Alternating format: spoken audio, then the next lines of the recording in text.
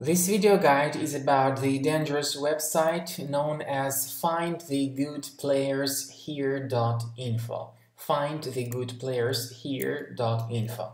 Actually, it's a fake software update alert. It is not related to Apple.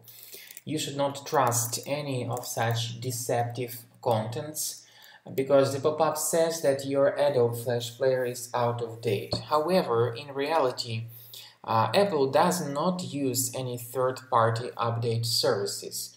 Uh, if there is any decent uh, software update, it will be uh, marked under the software update icon, so there will be a special notifications claiming that your Mac has got some update. And uh, if there is nothing uh, related to software update in system preferences, then your Mac is up to date and you don't need any third-party websites like this. These fake alerts uh, about Adobe Flash Player uh, out of date is a trick that tries to mislead you into downloading some potentially unwanted software, such as browser hijackers, adware, fake system optimization programs, and so on. So do not trust them, disregard these alerts and leave this page.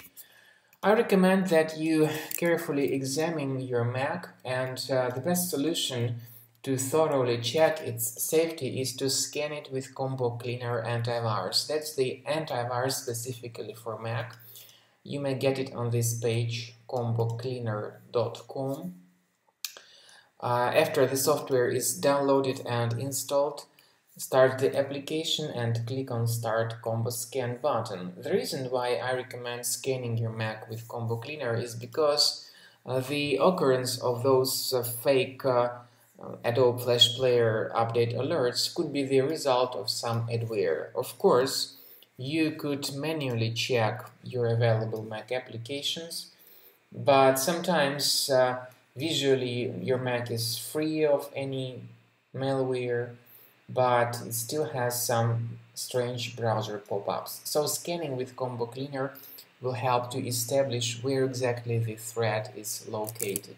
So far, this is the end of scanning by Combo Cleaner Antivirus. Whether it is in the trial mode or in the premium mode, it will perform the direct uh, and thorough analysis of your Mac computer.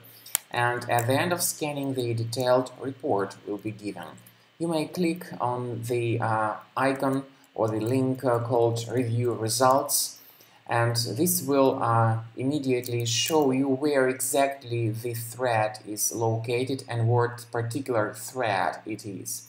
So uh, you may uh, remove each thread manually, one thread at a time, simply by clicking on this small icon that is saying show in Finder so you may find the uh, location of this adware in the Finder and move it to the trash.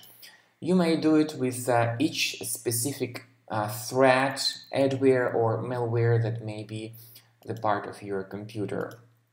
So click on this icon, show in Finder. As I said, this will show you its location and you may remove each detected thread manually and absolutely for free. Or you may perform the automatic malware removal, however, this will be done with the premium version of the program.